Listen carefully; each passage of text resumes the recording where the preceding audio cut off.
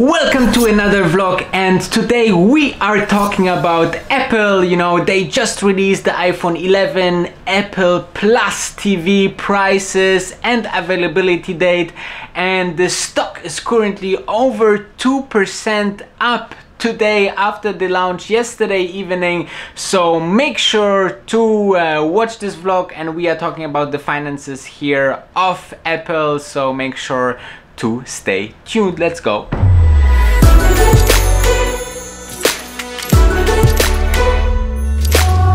So Wolf of Dubai, your stock market channel, make sure to subscribe. If you are new, thumb up. If you are returning, I appreciate that for making all and put all this time to make this kind of videos to update you. You know, I'm talking about a lot about this big companies, especially, you know, to make sure that you make the best investment decision out there. Now, yesterday, evening was a very very special oh it was actually it was Dubai evening so it was a little bit you know of an afternoon in Cupertino in the new Steve Jobs theater of Apple where they released as every year the new products and you will definitely not have another iPhone 11 review here on this channel. We are talking about what does it mean for Apple as a company for the future as well for the stock. So let's let's dive directly into it because you know we don't have time.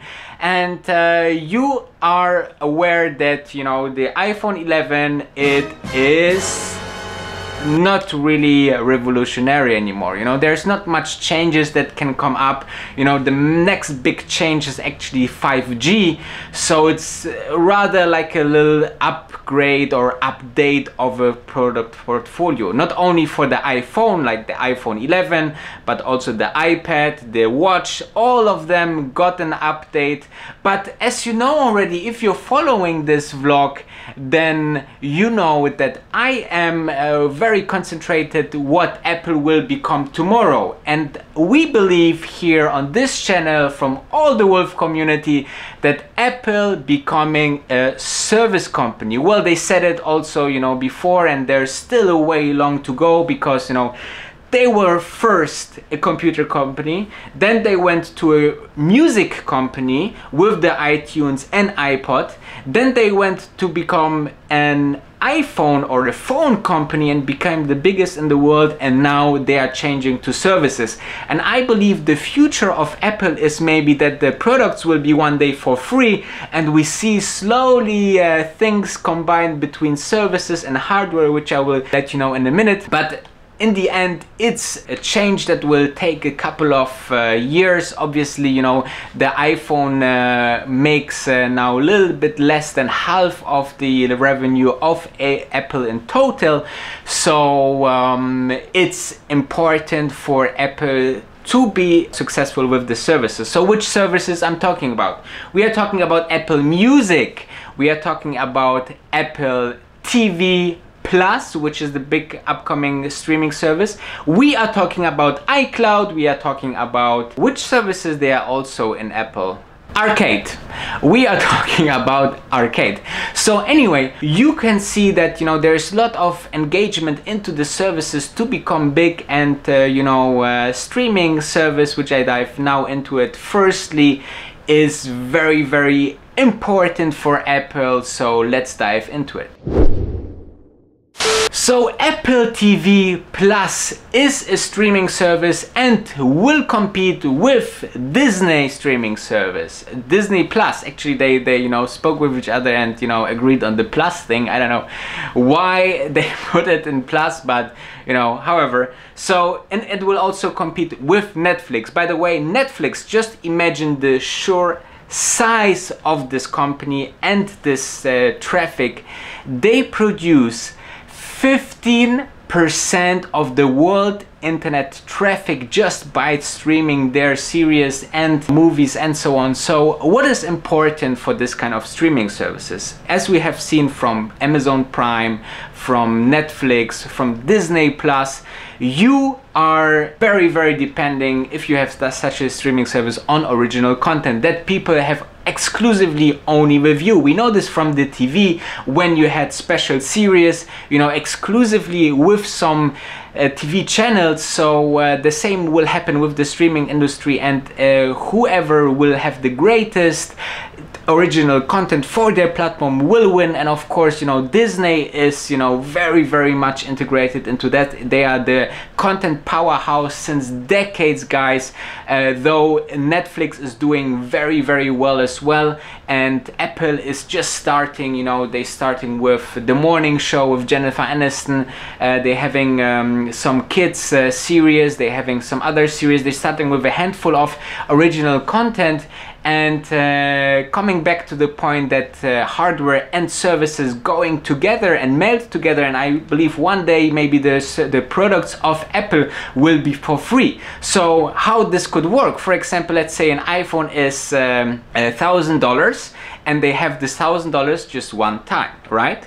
Now imagine um, you will get for free the iPhone, the platform, you know, the Trojan horse to come inside your household and inside your life and then you have to pay $10 for iCloud $10 for um, music, $5 for arcade, $5 and so on. So you, you end up, let's say, with, uh, with uh, 30, 40, $50 of different services and you have to, let's say, subscribe for at least 20 or 24 months. Uh, let's say 20 months times $50 would be already $1,000 and it not doesn't stop there if the people don't unsubscribe or cancel the subscription then this is a returning revenue for the company. So this is where I'm heading you know. I think this is the future of Apple. And we can see now that I'm trying to link it while First revolutionary news, the Apple Plus service will be launching with on the 1st of November by only $4.99. This is really really good and competitive price.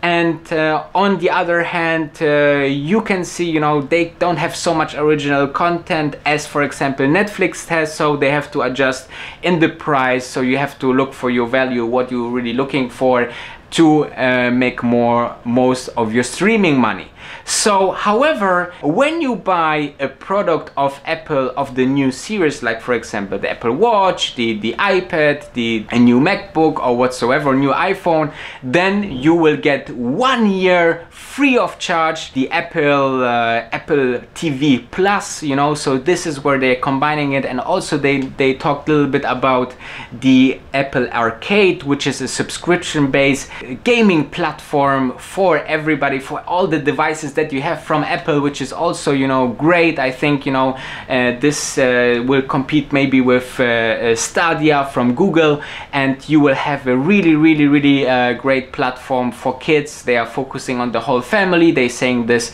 abonnement that you are getting is for the whole family. So we're very much into the sharing concept as well. And also if you are purchasing one product, you will get one month for free for arcade. So this is how, you know, the same uh, they have done with Apple Music. They gave uh, three months for free or still giving three months for free, you know, and after that they are charging and, you know, people just keep on going and paying and this is returning revenue and this is the whole beauty of Apple services and when Apple put the quality that they have in their hardware into services you know this can be a huge success. You know i believe also one more thing for the future that imagine they are they're working on project titan which was a self-driving cars now now imagine they give also transportation as a service. This would means you jump into an apple car and you know can watch apple tv or play arcade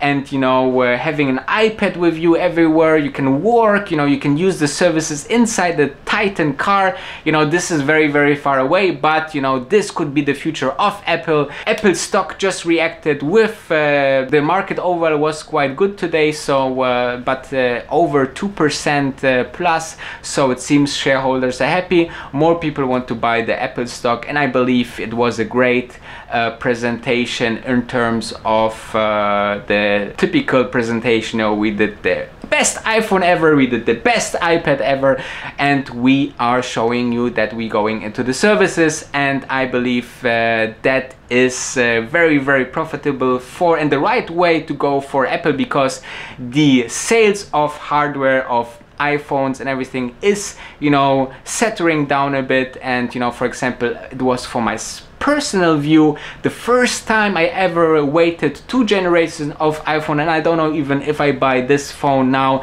I still have the iPhone X which is totally fine. It has face ID and all these things that you should uh, have in your phone already without the home button and so on. So I'm super happy I don't even have the need right now to change it. So maybe I will wait until the next generation. So people the phones are getting better and better. And uh, for the apps that you actually have right now like Facebook Netflix and so on you don't need too much computing power on your phone. So you know the generations of phone also lasts much longer which is you know um, a benefit for the consumer to hold the phone a longer time. Well that's a wrap. So let me know in the comments what you think about Apple. I think Apple is a great stock. Make sure to jump into the stocks in August, the three top stocks in August that I recommended. I put Apple and talked about the Apple shareholder value. Very much uh, interesting. And don't forget, the grass is greener on the other side.